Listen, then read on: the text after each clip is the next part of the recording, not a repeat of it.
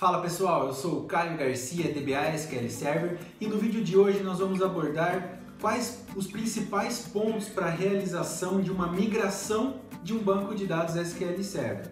Na minha opinião, na minha visão, realizar uma migração de um banco de dados SQL Server é uma das tarefas mais trabalhosas que existem, porque afinal de contas, você replicar o ambiente inteiro com todas as suas funcionalidades para um ambiente totalmente novo é muito detalhado, é um trabalho muito minucioso.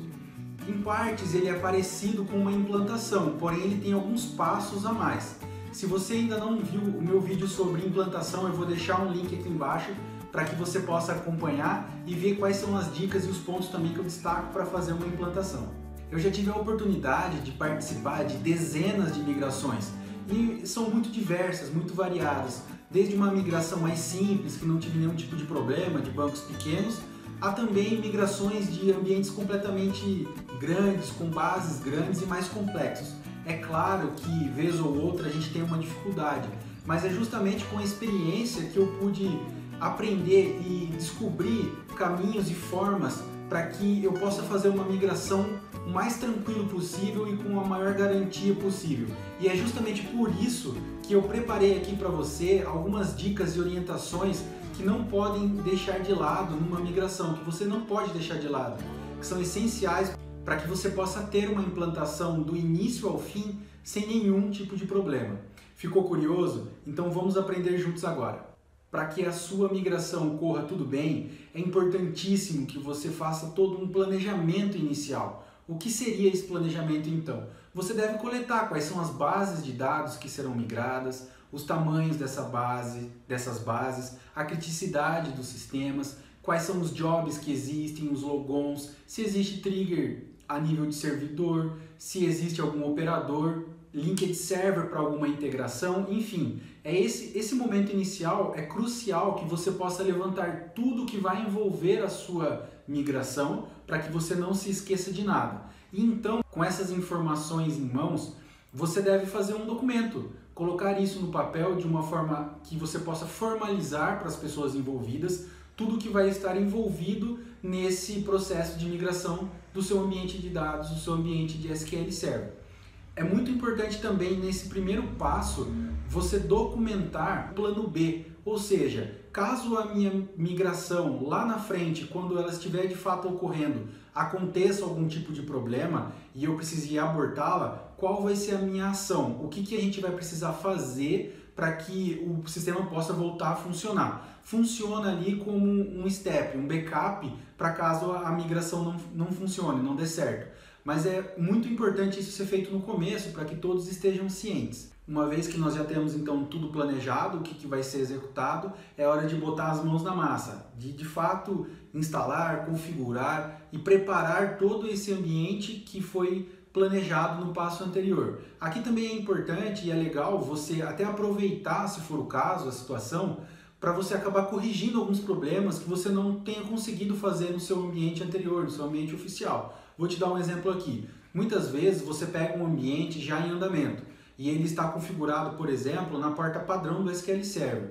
E você fazer essa mudança no ambiente de produção, causar uma parada da aplicação, ajuste da aplicação para que ela conecte no banco de dados com uma porta diferente é muito difícil, é muito complexo de conseguir. Então, nesse momento da migração, é um momento excelente para que você possa realizar essa alteração. Então, já que você está preparando desde o começo esse ambiente novo, você pode aproveitá-lo também para já colocar uma porta diferente, ajustar o seu firewall, fazer o que, que você precisa para manter esse ambiente funcionando da forma melhor possível, da forma correta, para quando você for iniciar os testes, a validação, já iniciar com essas alterações. Então você, além de preparar o ambiente para a migração, você aproveita também para já corrigir algumas coisas. Com esse ambiente preparado, é hora agora de você pegar os backups das bases que serão migradas e restaurá-los nesse novo ambiente, uma vez que ele já está instalado e configurado.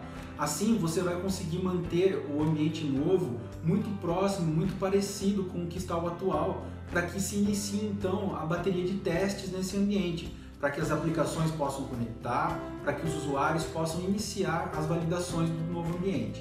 Você deve também criar os logons, criar os jobs, linked server se existir, configurar as integrações que existem no ambiente de produção, no ambiente oficial, para que elas possam ser validadas e testadas também nesse ambiente novo. Ou seja, esse terceiro passo seria você deixar um novo ambiente com a cara do ambiente oficial, do ambiente que roda hoje em produção, para que o teste, a bateria de teste do, do sistema dos usuários possa ser o mais fidedigno possível, possa ser o mais real possível. Agora que você já tem esse ambiente espelhado nesse novo servidor, é hora de começar os testes. Então, juntamente com a equipe de sistemas, com alguns usuários chaves das aplicações, é o momento de começar a validação, executar de fato as principais funcionalidades que eles utilizam no dia a dia, executar os jobs, validar os jobs, validar as integrações, os acessos estão funcionando tudo normalmente. Aqui é o momento onde você vai mitigar todos os possíveis problemas que pudessem ocorrer no momento da migração. Então é crucial que esses testes, essa validação, sejam feitos com o maior nível de detalhe possível, porque é ele que vai nos dar base para que no momento da migração a gente não tenha nenhum tipo de problema, que a gente não tenha nenhuma surpresa. Muito bacana também esse momento, enquanto os usuários, as aplicações e as integrações estão sendo testados, estão gerando uma carga nesse ambiente novo, que você como DBA possa medir o desempenho do banco de dados, o desempenho desse novo ambiente, para que também não tenha nenhum problema de performance durante a migração, após a migração. É importantíssimo também aproveitar esse momento para que o DBA possa coletar alguns indicadores e validar o ambiente em relação à performance também. Eu já tive a oportunidade de participar de algumas migrações que tiveram apenas meio período de testes e algumas migrações que tiveram duas semanas de testes. A diferença é absurda. E a segurança que um bom teste nos dá no momento da migração é muito positivo. Agora que você já tem o ambiente preparado, o ambiente validado, as informações de performance coletadas, é hora de pensar em como realizar a migração. Qual é o melhor formato para realizar a migração em si?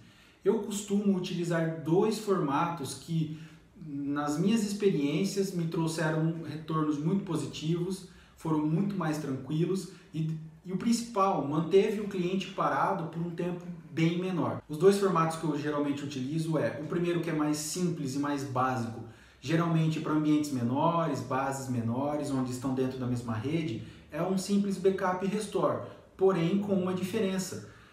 Geralmente um dia antes da migração ou até mesmo no próprio dia da migração que foi agendada, acordada com o cliente, mas algumas boas horas antes, eu transfiro o último backup full que foi gerado da base que está sendo migrada para o servidor novo. Já faço o restore desse backup full de forma que ele fique como no recovery, para que ele possa aguardar a restauração de um novo backup, no caso um backup diferencial.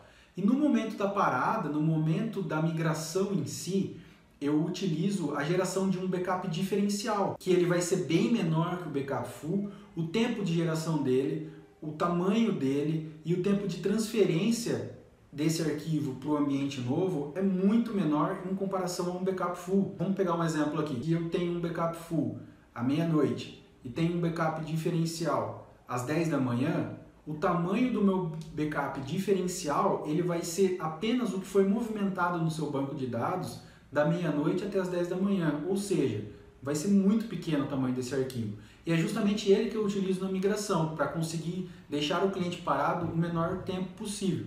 Então, nesse caso, como eu já transferi o full, já restaurei ele, deixei ele pronto, preparado, no momento da migração apenas gera um backup diferencial transfiro ele para o ambiente novo e faço a restauração dele no servidor que já está aguardando ali apenas o restore diferencial. É muito rápido. Um outro formato que eu também costumo utilizar, mas esse já é para um, ambientes um pouco mais robustos, bases de dados maiores, que possam, mesmo sendo um backup diferencial, que tenha muita transação e aí gerar um backup diferencial muito grande, muito maior do que a gente deseja e acabe demorando um tempo maior para transferir, para gerar, para restaurar esse arquivo, a gente configura uma replicação. Isso mesmo. Você pode replicar o seu banco oficial no seu ambiente novo. E no momento da migração, a única coisa que você vai precisar fazer para habilitar o banco de dados de replicação é conferir se está sincronizado exatamente como você precisa, cortar o acesso no banco oficial, pronto, o seu banco no seu ambiente novo vai estar exatamente igual ao seu banco primário, o seu banco do servidor anterior que você está deixando para trás, vai estar replicado aqui inteiramente. Então é muito rápido, tanto com o backup diferencial quanto com a replicação, você consegue fazer essa transferência de local de um, de um servidor para outro do seu banco de uma maneira muito simples, muito segura e muito rápida, que é o principal, porque o seu cliente geralmente ele não pode ficar muito tempo parado. Então essas são as duas maneiras que eu costumo utilizar no meu dia a dia e que são muito úteis. Eu vejo que trazem muito benefício para os momentos de imigração e também nos deixam mais tranquilos. Não é aquela correria, não é aquele desespero, porque as coisas já estão configuradas, já estão funcionando. É simplesmente copiar e terminar o restore do outro lado. Diante dessas duas opções, basta você escolher qual que vai se adequar melhor, qual que vai atender melhor o seu projeto. É claro, existem outras formas de fazer. Eu citei essas duas porque são para mim as melhores e as que eu costumo utilizar. Mas você pode pensar da forma que for melhor para atender o seu projeto. O importante é você já ter definido antes da migração como você vai fazer e já comunicar todas as pessoas envolvidas qual vai ser o formato utilizado. E outra coisa muito importante, aproveite como você definiu o que vai ser feito, como os testes já foram feitos e o ambiente já foi todo homologado para fazer a documentação disso. Pegue a sua documentação do projeto que você fez inicialmente, o primeiro passo dessa nossa migração, e acrescente nesse documento do projeto todos os passos que você fez até agora. A implantação de fato, as coisas que foram instaladas, a bateria de teste, o que foi validado, o retorno do desempenho do ambiente e também qual vai ser o formato da migração que você escolheu. Com o formato definido, então, é hora de agendar com o seu cliente a janela de manutenção, a janela para migração. Algumas informações importantes aqui que você deve levar em consideração. Não simplesmente a transferência dos bancos para o ambiente novo deve ser considerado no tempo para a migração, como também uma janela de manutenção preventiva do ambiente. Quando você faz um restore de um banco de dados num ambiente novo, as informações que são gravadas no disco do ambiente novo, elas são gravadas de forma aleatória. E isso acaba causando nos ambientes de banco de dados, principalmente nas tabelas que tem muitas informações, fragmentação dos índices. E isso pode ocasionar lentidão na aplicação quando eles passarem a utilizar esse ambiente novo. Então você deve considerar também, de acordo com o tamanho do banco, de acordo com quantas bases são, não somente o tempo de transferência, como também um tempo para realizar uma manutenção preventiva de performance dos objetos, dos bancos, também dentro dessa janela, antes de você liberar o ambiente para uso de fato. Também é importante realizar um check DB, que é uma verificação de integridade das bases, para saber se de fato as bases que estão no ambiente novo estão íntegras e não vão ocasionar nenhum tipo de problema. Sugiro também você colocar sempre uma gordurinha no final, alguns minutos ou até algumas horas no final, para que você tenha um tempo um pouco maior para caso algo dê errado. Como a gente já validou tudo anteriormente, dificilmente algo vai dar errado, mas é sempre bom ter um bom senso com isso.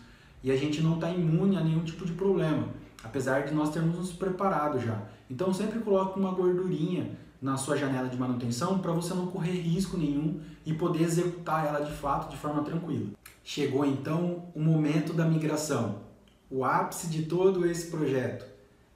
Como a gente já tem tudo programado, já definiu tudo anteriormente, já tem tudo planejado, os testes já foram realizados para diminuir a chance de ter algum tipo de problema, a gente deve atuar, executar a migração da forma mais tranquila possível. Nós já temos tudo determinado como deve acontecer, basta executar o que foi planejado e definido anteriormente. Então, na janela agendada com o cliente, pare o banco oficial, faça a mudança para o ambiente novo, seja através do backup diferencial, seja através da replicação ou de qualquer outra forma que você determinou. Tenha atenção a todas as coisas, seja criterioso, teste, valide. É importante que você tenha certeza do que você está fazendo. Afinal de contas, você é o DBA, a responsabilidade é sua. Tenha muita atenção em tudo. Terminada então a migração, chegou a hora da manutenção preventiva. Comece executando um checkDB em todas as bases de dados. Lembre-se que o checkDB ele é muito importante para garantir que a base no ambiente novo esteja íntegra. E é crucial que você execute isso antes de liberar para utilização da aplicação para os usuários finais. Depois do CheckDB, é muito recomendado e até uma boa prática, como eu falei anteriormente, que você execute um rebuild dos índices de todas as bases, porque os, os dados foram salvos aleatoriamente, lembra? Então os índices estão fragmentados. Então é importantíssimo também você executar esse rebuild dos índices, essa reconstrução dos índices. Depois do rebuild, execute também um update estatísticas para garantir que o banco de dados utilize as estatísticas corretamente e deixe os planos de execução das queries o mais rápido e o mais performático possível. E para finalizar nossa janela de manutenção, execute um backup full das bases para que você possa iniciar uma sequência nova da sua política de backup. Isso é importante também, se possível, executar antes de liberar para os clientes, para os usuários utilizarem o ambiente, porque ele consome recurso. Então, você, ao mesmo tempo que libera o acesso para os seus usuários, executa um backup full, eles podem já de cara sentir alguma perda de performance. Então, se possível, coloque isso para dentro da sua janela também de manutenção e execute, inicie a sequência dos seus backups para você ter a sua política de backup funcionando corretamente já nesse ambiente novo, logo após a sua migração ter terminado. Terminada então a janela de manutenção, chegou a hora de liberar para as aplicações e para os usuários finais a utilização do sistema.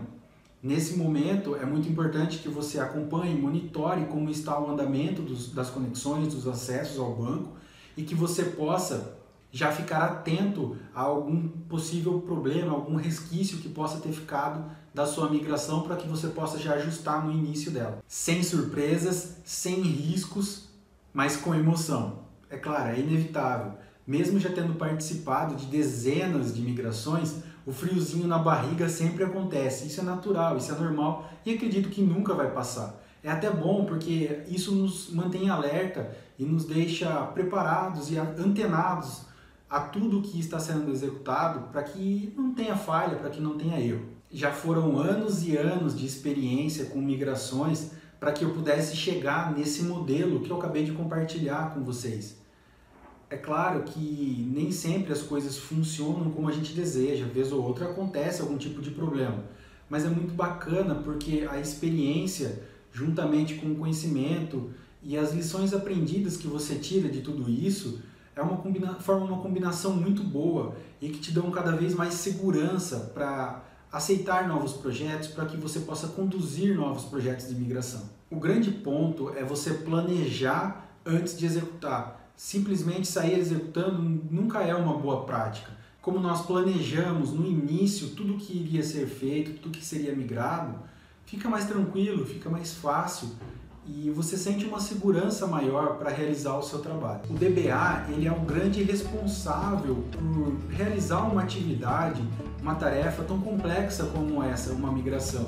E o principal é que é sem causar impacto para os usuários finais. Algumas migrações são feitas tão minuciosamente que os usuários finais, as pessoas que utilizam os sistemas desses bancos que foram migrados, eles nem percebem que o ambiente foi alterado e continuam trabalhando como se nada tivesse acontecido. Tamanha é a qualidade que é realizada no trabalho de migração do ambiente. No vídeo de hoje nós vimos os principais pontos para a realização de uma migração de um banco de dados em um ambiente SQL Server. Vimos como projetar, como implementar, validar, escolher qual é o melhor formato para realizar a migração, executá-la em si também vimos como fazer uma manutenção preventiva de forma a manter a boa qualidade, a boa performance e desempenho do ambiente agora num novo servidor. Também qual que é o papel do DBA no meio de todo esse projeto. Se você gostou desse conteúdo, comenta aqui embaixo, deixa qual é a sua experiência também com uma migração, caso você já tenha participado de alguma. Conta aqui pra gente, quero saber, vamos bater um papo. Até a próxima, tchau!